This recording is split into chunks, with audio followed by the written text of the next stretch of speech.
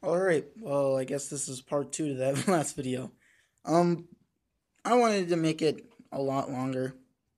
Like, several hours have passed since I made it. Obviously, it's fucking dark outside. I'm at a hotel in fucking Minneapolis right now.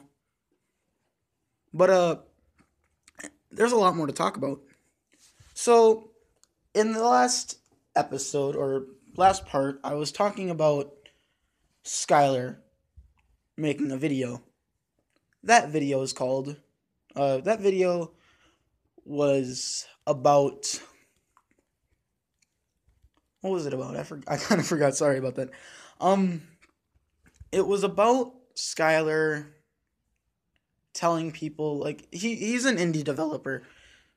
So he made a video about how professional developers need to fucking grow up and get over fucking criticism and other shit like this.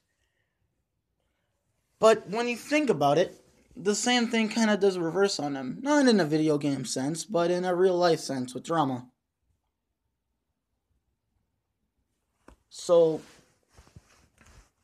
to say, what I'm trying to say is that he's telling people that he doesn't, he gets over criticism and stuff like that, but even then, whenever somebody says something, he goes and hops on the internet and makes fucking YouTube videos.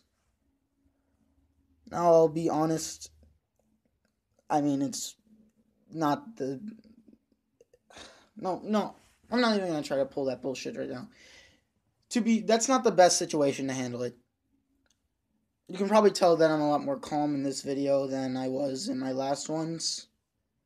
Or my last one, I should say.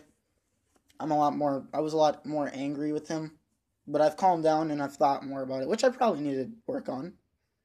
Which I do need to work on, to be honest. But I just don't understand. What was what else do I want to say? Besides from that, it's just he. It seems like he can't take that when he's being shat on it's for a reason. And then he goes on and fucking rants on the internet, which, like I said, is a pussy thing to do.